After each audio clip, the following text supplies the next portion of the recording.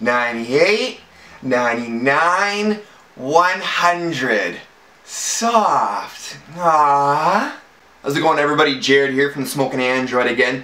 Um, just wanted to bring you a quick little video to show you proof of why it's a good idea to root your device. I don't care what kind of device you have, as long as somebody has been able to root it, I strongly recommend you do so.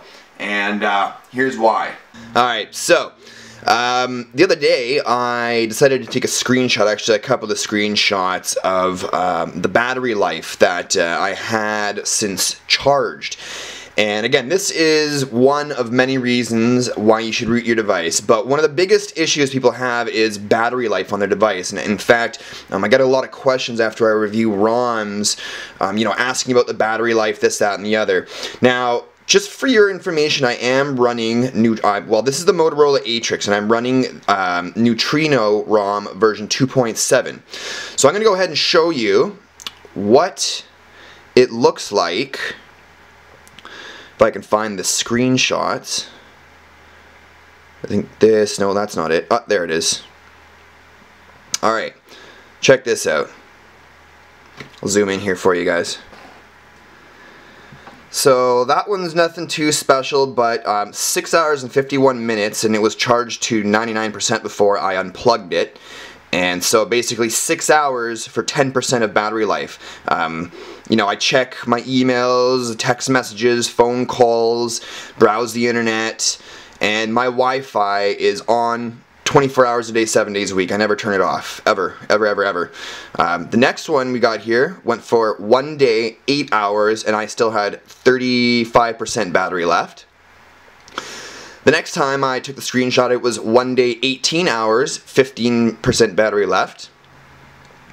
And then this was the really impressive one. Um, this is one uh, a day that I had been testing out some different apps to review, um, tons of emails, a couple of phone calls, tons of text messages, lots of web browsing, and I believe I'd actually flashed two or three ROMs um, in the process, like while still unplugged. Um, you know, except for pushing the files to the device. Um, Two days, seven hours, and I was at 29%. That is crazy. Um, so that was two hours, two days, seven hours. This is two days, 16 hours, and I went down to 19%. That was still sort of on the same battery charge. Um, so two days, 16 hours, and that is the best I've had for a little while now, but um, that just goes to show, you know, what flashing a good custom ROM can do for your device.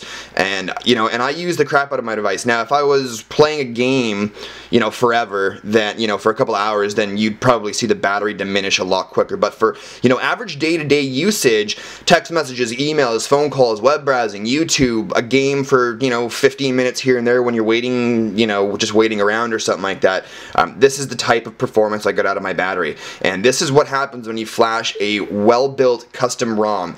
And of course, the only way you can flash a well-built custom ROM is by rooting your device.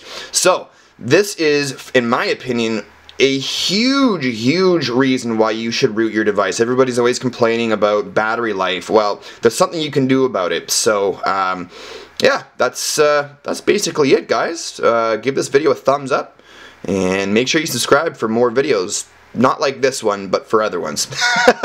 and uh, stay tuned, we'll be looking at a couple of ROMs that um, I haven't gotten around to yet for the Motorola Atrix. So for those of you Motorola Atrix users, uh, stay tuned today. I will be releasing, I think, another one or two videos today, depending on uh, how busy I get.